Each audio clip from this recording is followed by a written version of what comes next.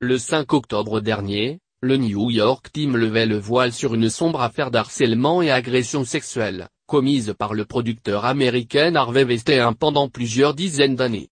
Si l'actrice Rose M. Segovan avait commencé à en parler l'année dernière via Twitter, sans pour autant citer le nom de son agresseur, les langues se délient enfin. Angelina Jolie, Gwyneth Paltrow, mais aussi en Cohn, Léa Seydoux ou Judith Godrèche ont confirmé qu'Harvey Weinstein avait été violent envers elle. Et le dernier témoignage en date ne fait qu'allonger la liste des nombreuses victimes du fondateur de la Société Miramax.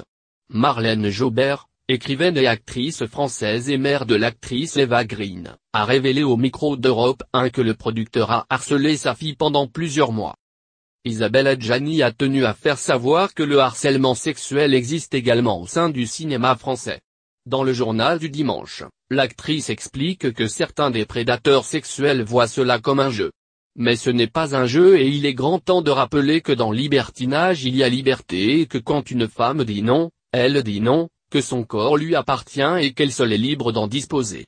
Quand une actrice se fait séduisante pour décrocher un rôle, ce n'est pas pour se faire violer, laissons savoir à ces messieurs les harceleurs que les actrices, tout comme les ouvrières, les agricultrices ou les ingénieurs, les commerciales ou les institutrices, les mamans ou les pétins, sont toutes libres de baisser, libres d'avorter.